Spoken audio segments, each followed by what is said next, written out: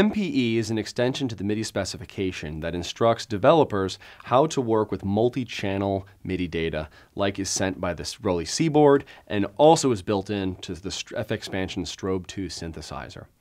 I have the Strobe 2 synthesizer placed in a track in Ableton, and I'd like to use the polyphonic expression that's enabled in the MPE specification. Very often we'll have to go into our synthesizer and put it into MPE mode, and we have to do that here in Strobe 2. And then we'll have to make sure that the ROLI dashboard is configured in MPE mode. I'll go over to the dashboard to do that. Bottom right hand corner, I put it in multi-mode, turn MPE on. I suggest in a practical situation to use as low as a polyphony as your song really requires. And what I'm creating right now is kind of an ambient pad for the breakdown of my song. And I'm gonna be playing a four note arpeggio and kind of changing uh, and, and sliding up on the Seaboard during that performance. And so I really only need four voices of polyphony. So that's what I'm gonna configure here in the ROLI dashboard. We'll choose a channel range from two to five.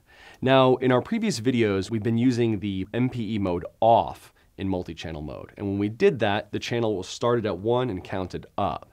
MPE is um, a little more developed, and what's in the specification is that channel one is a global channel. It's even listed here as the global channel.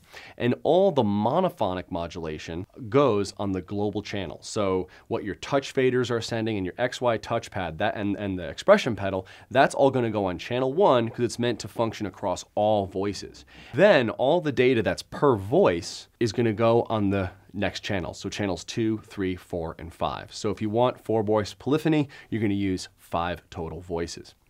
Over in Ableton Live, I placed the strobe synthesizer on a MIDI track, and I'm gonna use that as my global channel. So I'll set it to be Seaboard rise as the input, and then only to MIDI channel one. So as I record, all the uh, touch faders and XY touchpad, that information will go into that first track, but I need additional tracks for the additional voices that we're going to play. Now, we have to do this because the original MIDI specification was using channels in kind of a track system, right? Each channel was supposed to address maybe a different synthesizer or a different sound within a synthesizer. The MPE specification kind of changes the usage of channels to enable per note modulation, which is really, really fun and it's kind of the, the beauty of this device. Some DAWs allow having multi-channel data within a single track. Other DAWs, like Ableton Live, only allow a single channel to be in a single track. Luckily, Ableton Live has a really robust routing scheme, and it'll allow us to route single channel information directly to the MPE synthesizer. So I can create a MIDI track here for the second MIDI channel. I'll set its input to be Seaboard rise. I'll set its input channel to be channel 2. I'm going to set its output to go directly to the Strobe 2 synthesizer. This same function works with ROLI's Equator synthesizer. So that's going directly to strobe MPE. So I'm not going to track in, I'm going directly to the uh, synthesizer and I'll choose channel two. So the channels are gonna be the same. Now I can duplicate this track, Command D, and I'll just change the channel assignments up one on both of those, channel three and channel three.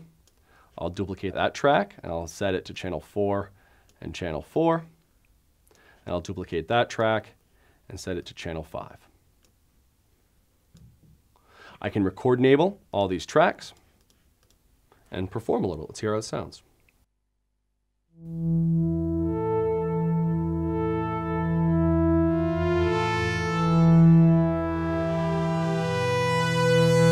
That's pretty nice. I think it's working well. Let's hear it in the context of my song and see what it looks like when we record the data.